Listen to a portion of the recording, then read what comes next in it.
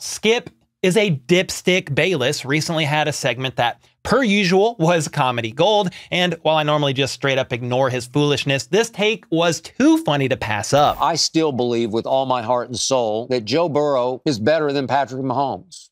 Maybe just a little better, but just better than Patrick Mahomes. And I can back it up and I can prove it. How is this geriatric, irrelevant man still sticking to this horrible take? I'm an idiot.